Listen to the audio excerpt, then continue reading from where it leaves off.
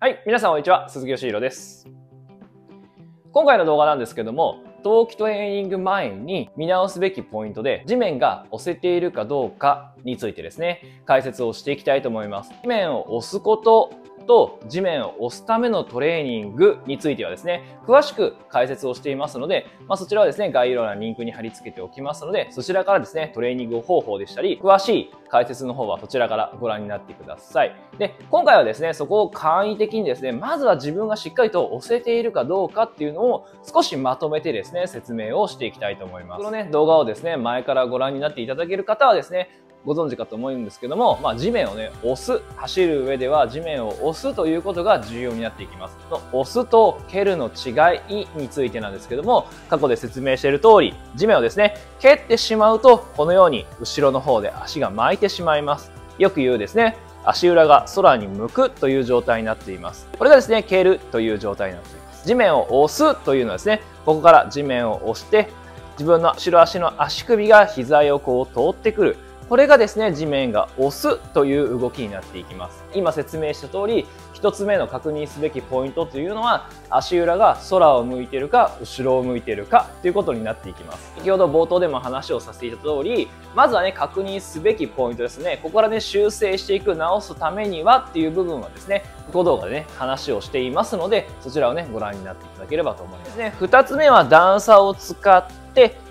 ちゃんと押せているかどうかの確認をしていきます。押すに関してはですね、アキレス腱の腱反射を使っていきます。ここですね、足踏みをした時に足首だけ、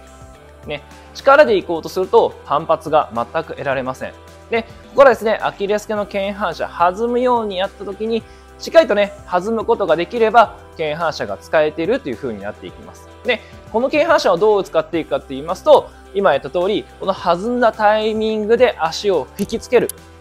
ことをしていきます。ね、これがしっかりできると、地面が押せてるっていう風になっていきます。これがですね、今やった通り、うまく腱反射を使えてない状態で力を入れようとすると、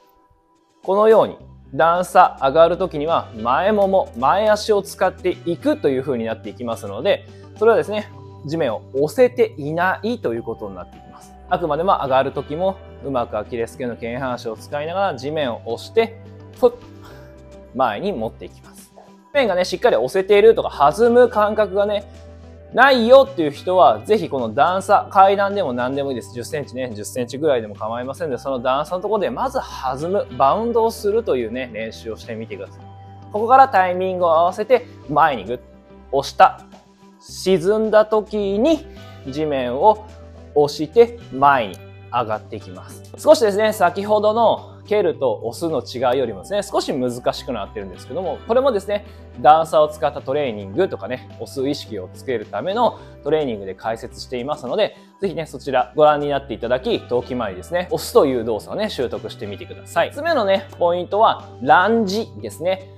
これもですね、僕の動画をご覧になっていただける方は、もちろんご存知かと思いますけど、このランジがしっかりと後ろ足で押せることができれば、地面もね、しっかり押すことができます。で、ここでね、正しいランジができないと、前足ばかり使ってしまって、先ほどの段差と一緒でうまく後ろ足が使えてないっていう風になっていきます。その場でね、やってみると、